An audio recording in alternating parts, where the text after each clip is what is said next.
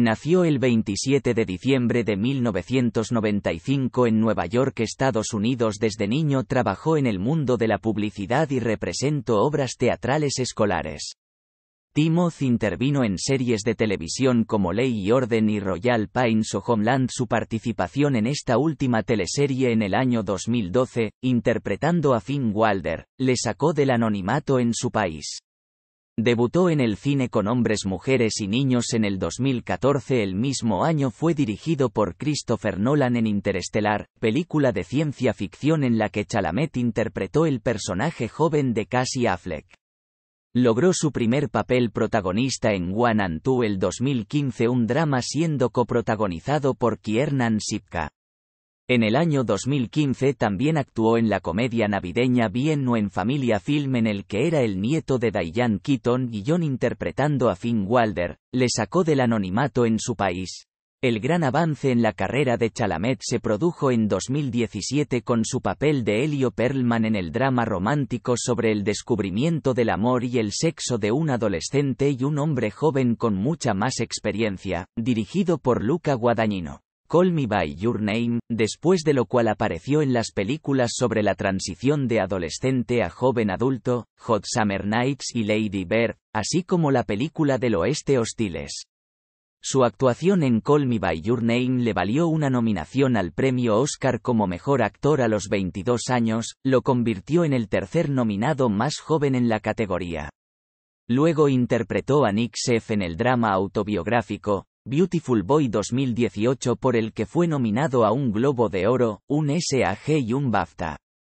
En 2019, Chalamet interpretó a Enrique V de Inglaterra y Theodore Laurie Lawrence en los dramas de época de King y Mujercitas, respectivamente.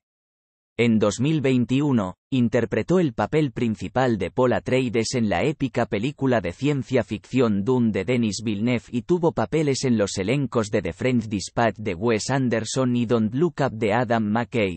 En 2021, Chalamet interpretó a un estudiante revolucionario en la comedia dramática de conjunto de Wes Anderson, The French Dispatch, en 2022, Chalamet se reunió con Luca Guadagnino en la película de romance y terror Bones and All, en la que actuó junto a Taylor Russell como vagabundos caníbales. En la actualidad, el joven actor neoyorquino se ha convertido en una de las estrellas del momento, gracias a su talento y a algunos escándalos. Su padre es de origen francés. Esto hace que Timothée Chalamet tenga que enfrentarse constantemente a la pregunta de cómo se pronuncia su nombre.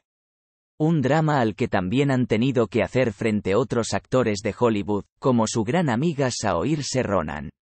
Él siempre contesta con la mejor de sus sonrisas, en ocasiones explicando la diferente pronunciación entre el francés original y el inglés habitual, otras veces optando por dejar que cada cual escoja la forma que más le apetezca siempre con la mejor de sus sonrisas, con educación y con un saber estar que no es demasiado habitual en los jóvenes de 26 años, pero es que tablas no le faltan, pues lleva prácticamente toda su vida dedicado a la que es su gran pasión, la interpretación.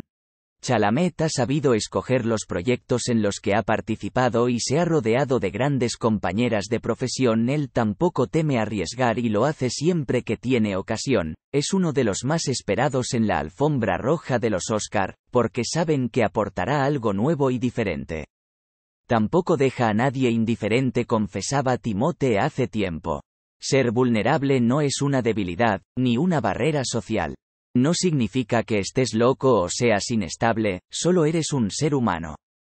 Casi creo que la química, a diferencia de la mecánica física del beso real o una escena de sexo, es más palpable en la falta de contacto. Siempre sentí que había menos espacio creativo en los sets con guardianes.